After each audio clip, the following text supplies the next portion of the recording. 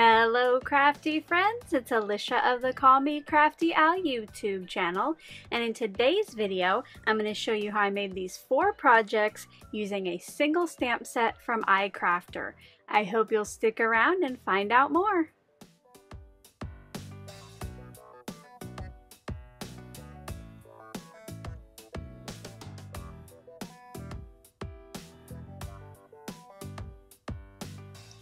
Thank you so much for stopping by today. If this is your first time to my channel, I hope that by the end of this video, you'll be inspired to click on that subscribe button below and ring that bell for notifications. If you're already a subscriber and regular viewer, welcome back. I'm so glad that you're here again.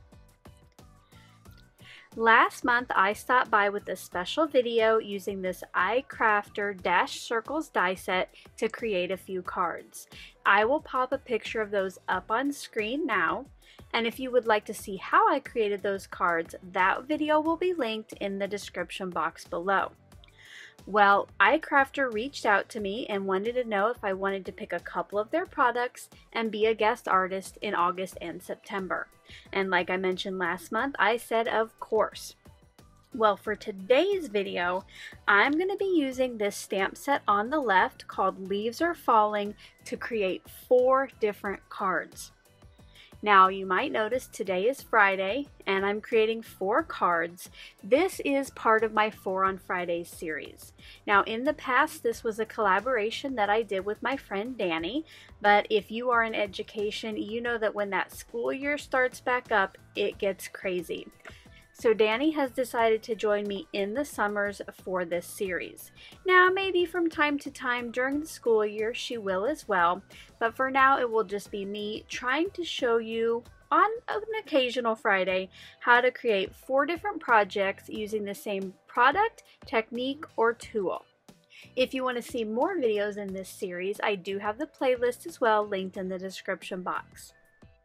Like I mentioned, the main focus today will be this stamp set, but I'm going to do lots of different techniques and use some other products.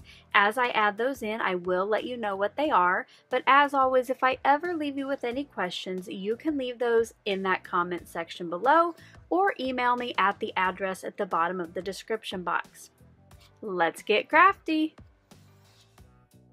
Before I get to today's process video, I do have a special channel member shout out. I would like to say thank you and welcome to Paper Trimmer level membership to Nancy Byram. Thank you so much for your support.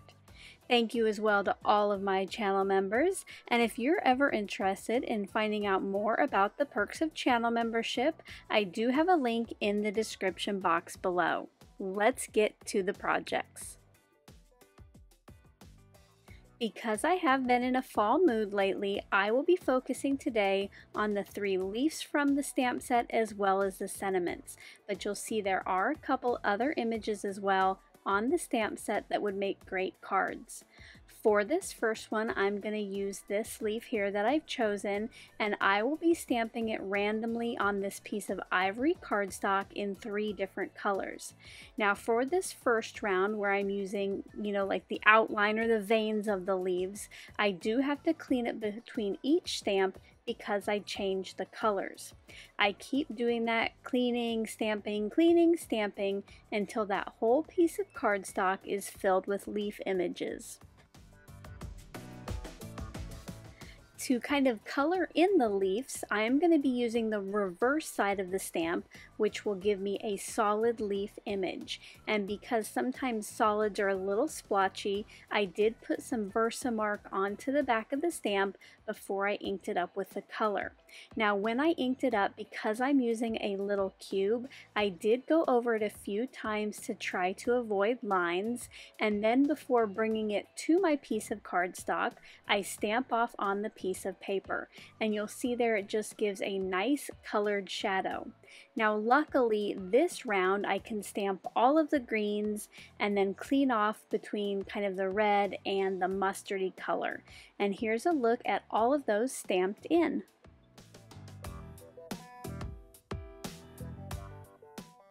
For my sentiment, I chose Leaves Are Falling, Autumn is Calling from the stamp set, and I'm going to use that green ink on a scrap of ivory cardstock. I found a die that I had in my stash and it will cut out the sentiment on the inner part and then out of this green scrap of cardstock I am going to be cutting a frame. Before I add the sentiment, I brought in my trimmer and I cut 1 8th of an inch off all edges. Now I could have cut like a quarter of an inch off the top and then the side, but I liked the way that all of the leaves were centered, so that's why I chose an eighth off all sides. Then I brought in my glue and added adhesive to the back of the sentiment and to the frame, and you'll notice that I have it falling off the right side just a little bit. I set that to the side to dry for about 10 minutes before I brought in my scissors and cut off the excess. Off camera, I used that same green cardstock to cut and fold a top fold card base, and I cut a piece of ivory cardstock for the inside just so the personal message was easier to see. I placed my sentiment piece onto the front centered and then placed that piece of ivory cardstock on the inside. To finish this card off, I brought in my glitter dots, which have a gold border and a clear glittered center, and I placed three on the card front. And here's a look at that finished card.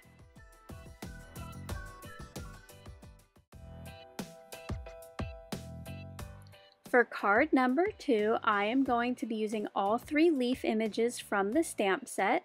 I will be stamping with Versamark ink and using detail white embossing powder. I am stamping onto Strathmore Bristol Smooth that is cut to four and a quarter by five and a half. And when I do my leaves or when I stamp them, I am putting them in the lower left hand corner. Now you'll see I kind of have to move that paper back and forth because it was hard to see where those were stamped. But once I had all three done, I brought in my tray, poured on my powder, and then I heat set that with my heat tool. You can see the white just a little bit better now. I will be using the emboss resist technique for this card and I am ink blending starting in the lower left hand corner using the same three inks as card number one. Now, while I work on that blending, I thought it would be a great time to stop by with the QOTV or question of the video. These are just fun little questions that we get to know each other a little bit better. Today's question is another one from a channel member, and Karen C. and I would like to know when you are crafting, do you sit or stand? You can let us know in the comment section below, and don't forget to include the hashtag hashtag QOTV so we know you've answered and would like us to see it. For me, I do stand up now about 90% of the time that I am crafting. I did used to sit, but when we rearranged my studio, I did go to a standing desk. This because I was crafting so much and down here, it just gets me up and on my feet more. Now when I do my video editing, I do usually sit in my stool at my desk. After all of the ink blending was done, I brought in a paper towel and cleaned off where the embossing is just to make those white leaves stand out a little bit better. I do want this piece to have a green mat, so I cut it down to three and three quarters inches wide by five inches tall, and then I brought in a scrap of greens cardstock and cut a mat for that that was just slightly larger. Now I will be using for my sentiment this tag die, and because it won't be seen anyway, I'm going to cut it out of the middle of my green mat, and I also cut one from kraft cardstock. Now this kraft cardstock is going to be the one I stamp on and I will once again be using Versamark with the detail white embossing powder. I set this up in my MISTI and just placed that tag in the lower right hand corner and once the powder was on there I heat set that and now it's time to get the card finished. I matted my inked piece with the green cardstock and then these two layers got adhered to the front of a kraft card base. Now for the inside, I did want to add a little decoration and use Versamark in a little bit different way. Instead of embossing, I'm going to use it as a watermark ink. So I inked up one of the stamps from the front and just stamped in the lower right hand corner of the inside. This just adds a little bit of interest. For the sentiment, I adhered those two tags together just a little bit offset and then I placed them in the upper right hand corner in some of that white space. Once again, to finish this card off, I brought in my glitter dots, and this time I used almost the smallest ones. I placed one at the top of the tags, and then four scattered around the rest of the card front. And here's a look at that finished card.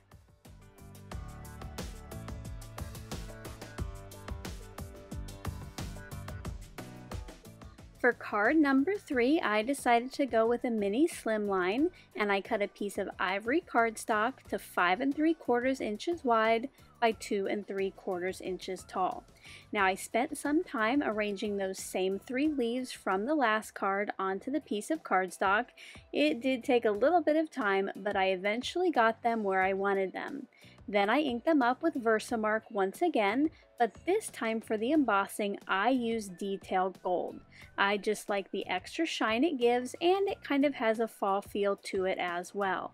Now you'll notice that even though I did use my embossing buddy beforehand, I did have a small piece of the powder left on the cardstock where it shouldn't be, so I wiped that off with a dry brush before bringing in my heat tool to set that powder.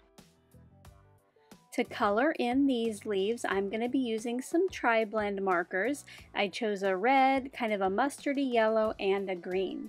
Now I won't be doing any shading on these, but for each color I did use a different shade of the marker.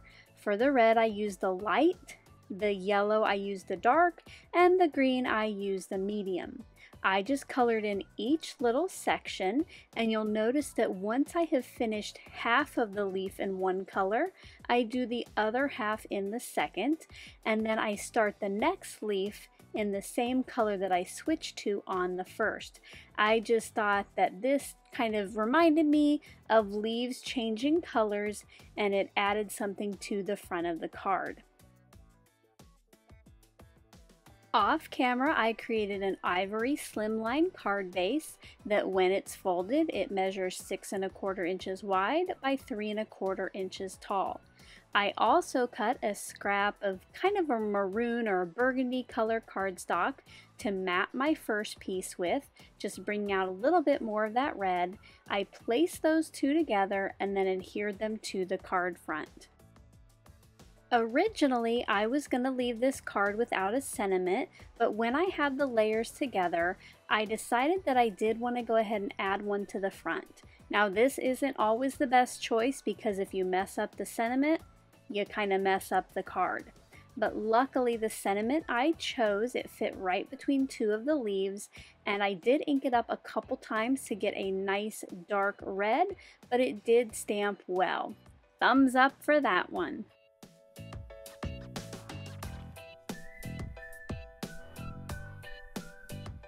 For my final project, I created a set of three monochromatic cards, but today I'm just going to show you how I did one and then I just repeated it for the other two.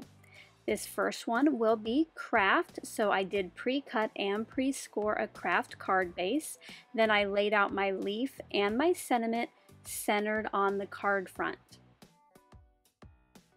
Once that was all in place, I inked it up with kraft ink and I did end up inking this up and stamping it three times because I really wanted to make sure that the kraft colored ink stood out because you'll see here in just a little bit I'm to do some ink blending as well and I wanted the image and the sentiment to be darker than the blending.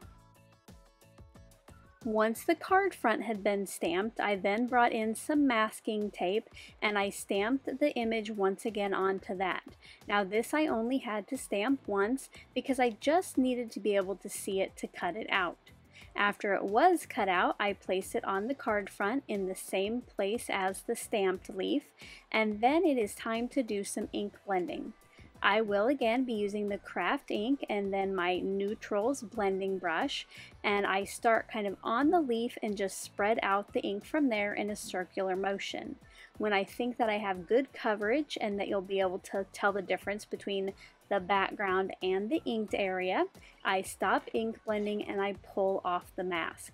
And you'll see here that it just reveals a lighter leaf below with just kind of an aura or a halo of color. Off camera, I repeated this same process for the other two cards. I hope you enjoyed seeing how I made today's cards. If you did, as always, I appreciate a thumbs up. Until my next video, I hope you're all having a crafty day. Bye-bye.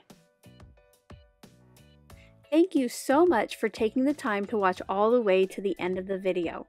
I hope now you'll consider clicking on one of the videos or playlists I have linked above, and if you're interested in any of the products or tools I used in today's video, I do have some links in the description box.